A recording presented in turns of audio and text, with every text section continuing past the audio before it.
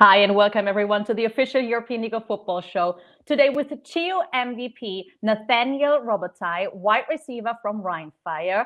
But first, we're taking a look at the results from week 13.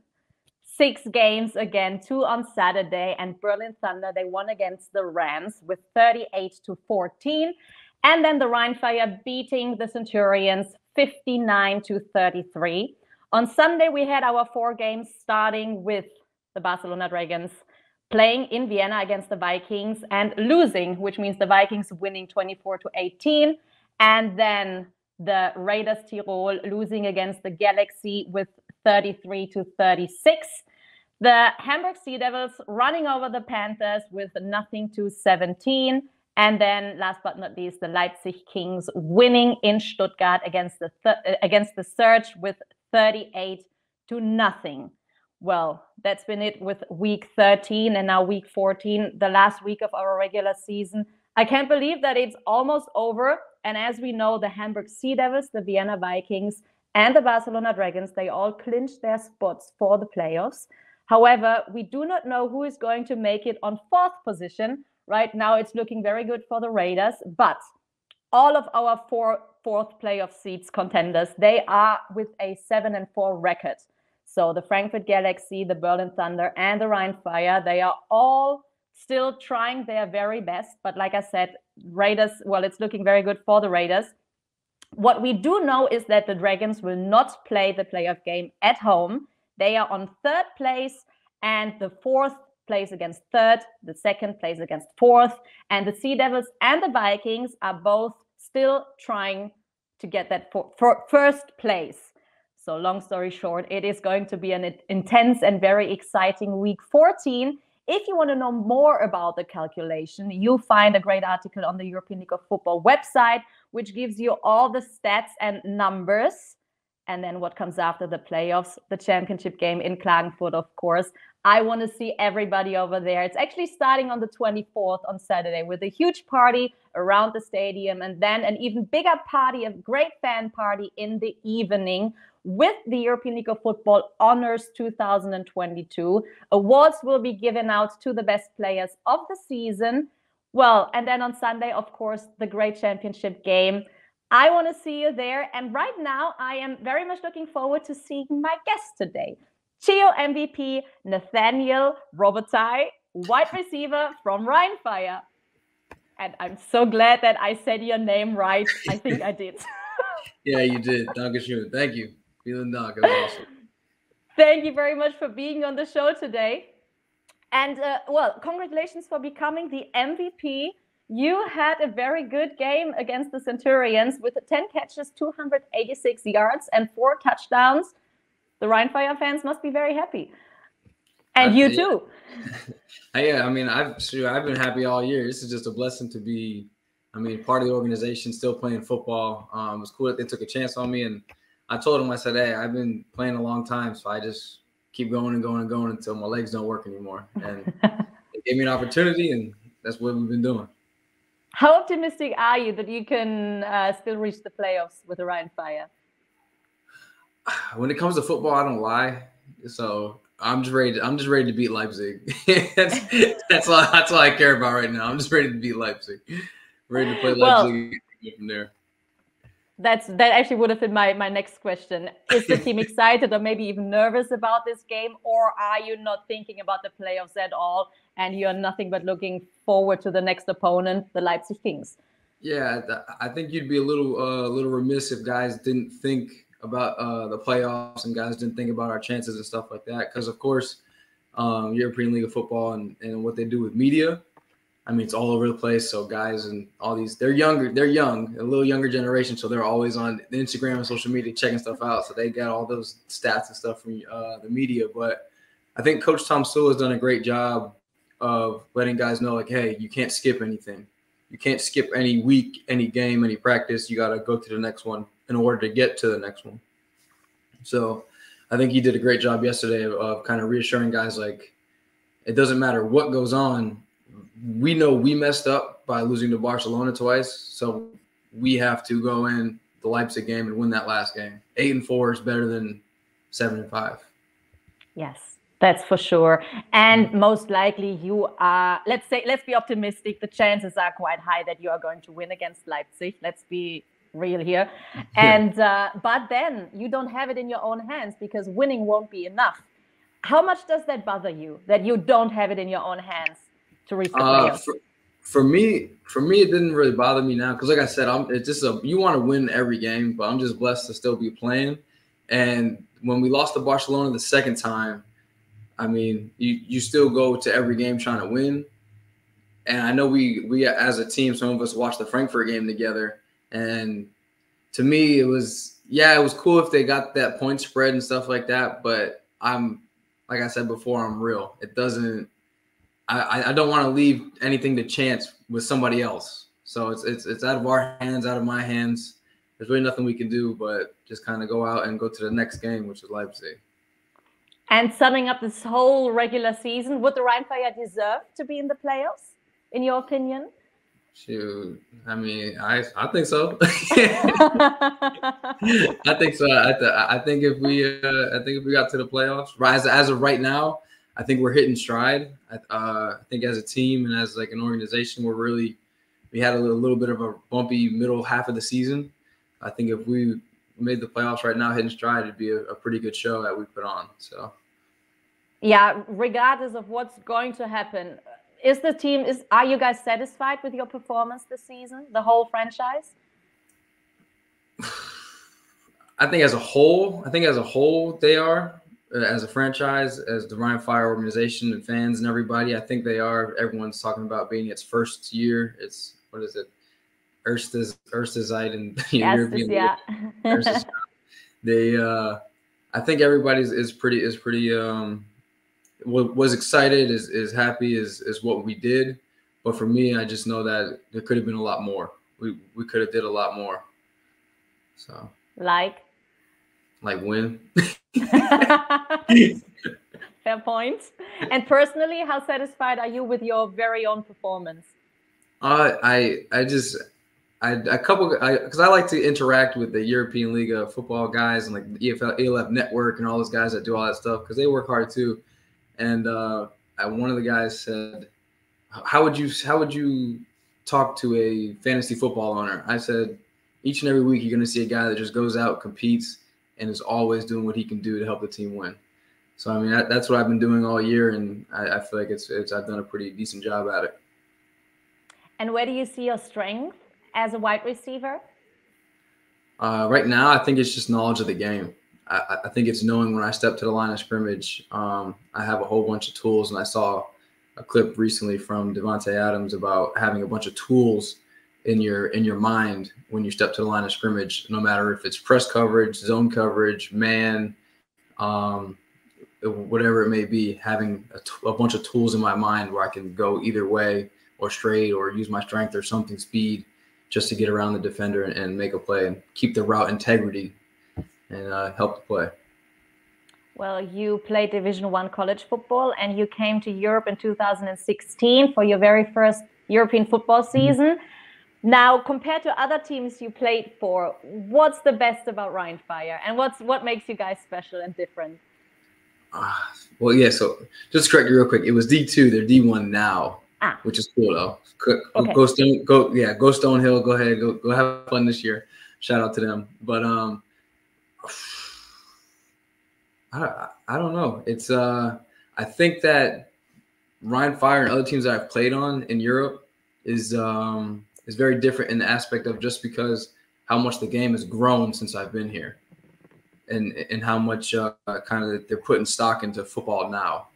I know I know in the GFL, the ELF, um, I talked to one of my uh, buddies, AJ Wetland, who were playing this weekend, and I asked him, "What's the difference do you see between the ELF and the GFL?" And he said it's more even. It's across the board. Each team is more um, even, and I, I didn't, I didn't really couldn't put my finger on it, but that's when I really thought about it after he said that. That's that's exactly what it is. Each each team in the ELF is uh, you never know what's going to happen in a game each team is very. I mean, you right yeah. now you have it. There's three teams that are seven and four vying for a last playoff spot, and e- and each of those teams yeah. could be the top three spots. You just never know. So I yeah. think that's that's one of the big differences. And I mean, when you play in the GFL like we had in the past. I mean, you could go into a game and just like, okay, we're gonna beat this team by 50. So this is this is what it is what it is. But I would say the European League of Football has been doing a great job of of uh, keeping the teams very very even keeled, which which makes for good football. Yeah, yeah. It, the the sports is definitely growing in Europe, and also the league is growing. We have mm-hmm. four new teams joining, three more countries coming in, in in year three. What do you think about this development? I think it's great. I mean, it's it's good because it's going to add more games to the season. Which, if you're a football player, you love to play football, so add more, keep adding more teams, add more games. Uh, I would love to play a 17 game season again, like I did in the GFL. That'd be awesome. But um, I think I think it's great for the league. It's great for Europe, and it's great for guys that um that want to help the game grow. So like when I'm done playing, I would definitely love to be a part of uh, the ELF or some organization and, and help the game grow in, in any way possible. So noted. I know who you need to speak to. well, you definitely had some pretty exciting and fun games this season. What has been your highlight? Is there any moment that you're definitely going to remember for a long time? Uh, I mean, I would be it would be crazy not not to say the kick against Frankfurt that that uh, that last oh second kick. Yeah, it, it, would it would be crazy to not to say that. I mean, it was just. Oh, a, yes.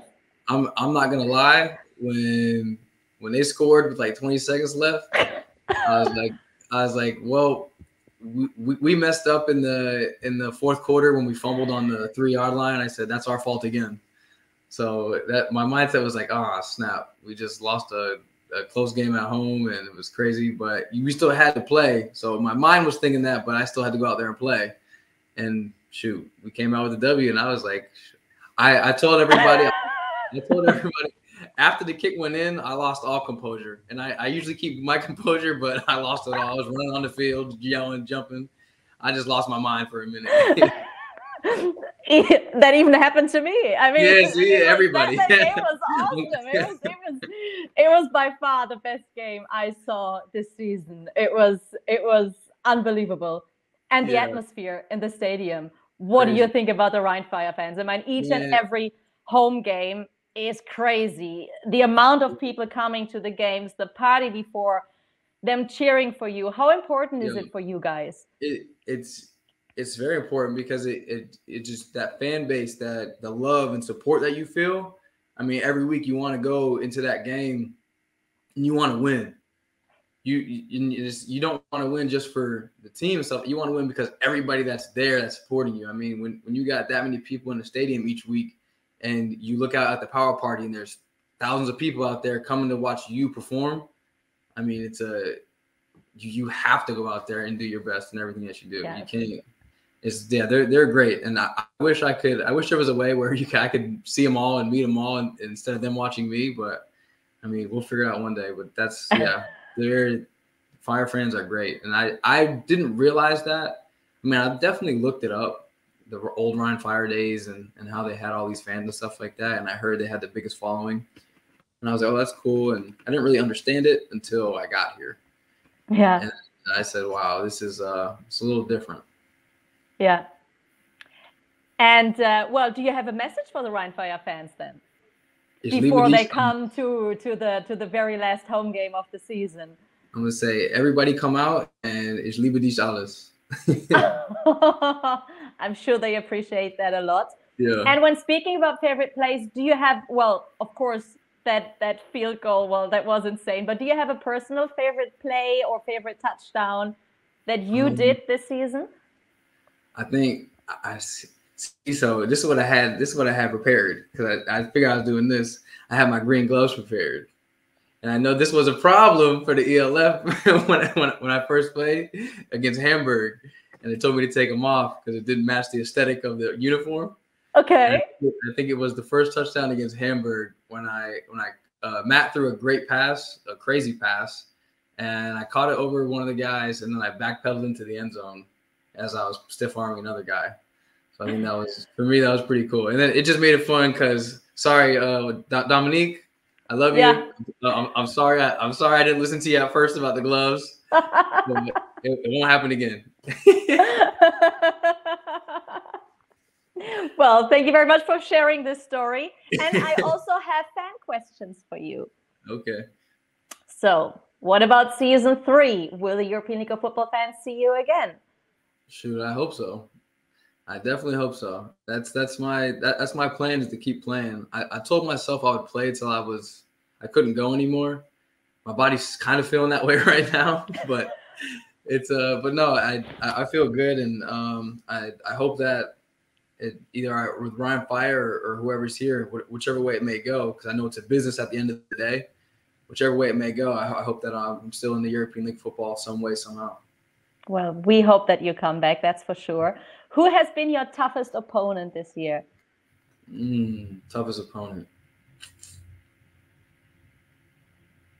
Probably. I mean, I, I think I think you got to say Hamburg probably because they they came in and uh, they they did a pretty good job, kind of kind of containing us on offense there.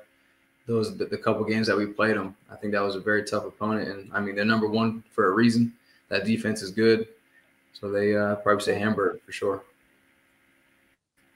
And what's going to be the first thing that you do after the season? Sleep.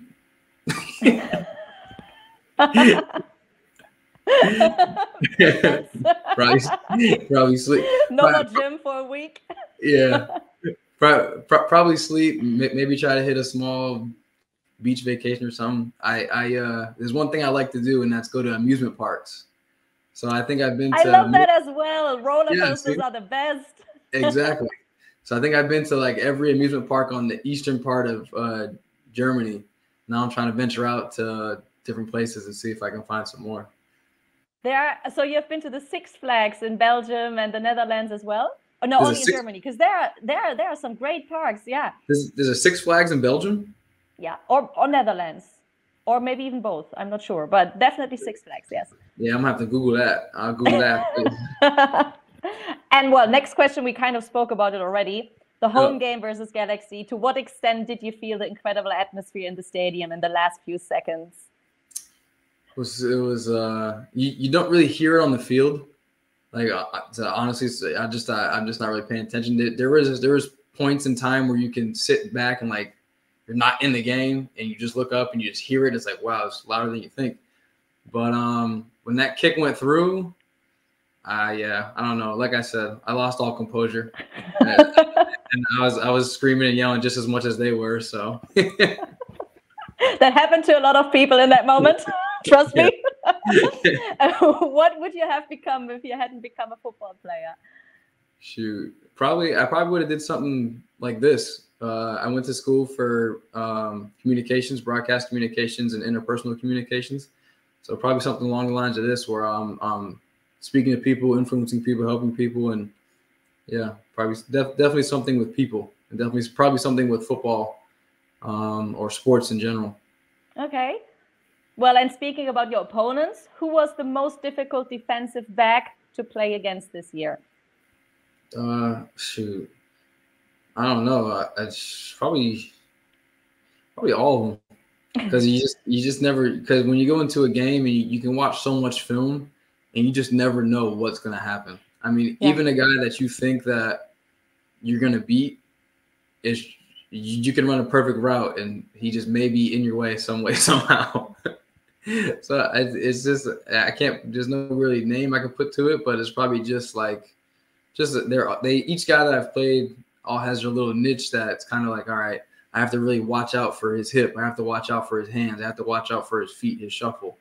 I mean, each guy that I've played, they're there for a reason. They got picked to play, and then they, then they got picked to cover me. So they're, they're, they're there for a reason. So I think I mean all of them bring something different to the game that I had to really look at and study and and kind of use my tools and go against them. But you managed to do that. Do you have a favorite song? Favorite song?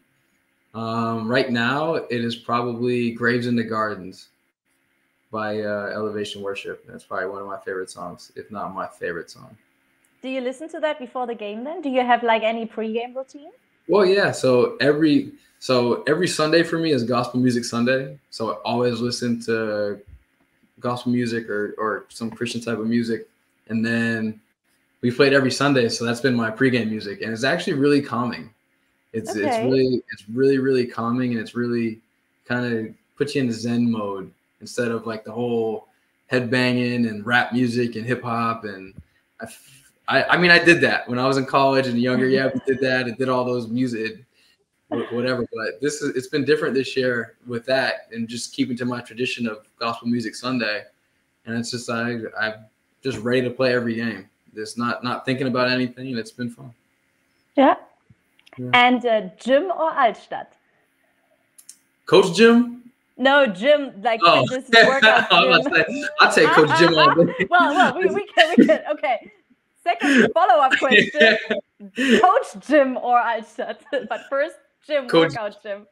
Uh, um, I'd probably say go to the gym. That's what we're gonna do next. Go to the gym, get in the sauna, stretch, and then go to the Altstadt and get uh Mittag.